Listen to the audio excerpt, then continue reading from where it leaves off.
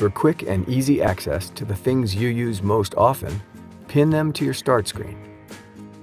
To pin an app, start typing the app's name. Right-click the app and then click Pin to Start.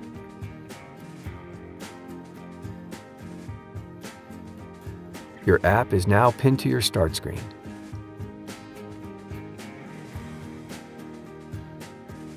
To pin a website, open your browser, go to the page you want, right-click the page, and click Pin to Start.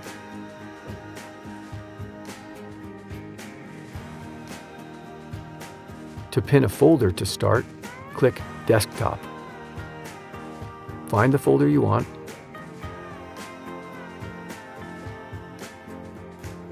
right-click it, and choose Pin to Start.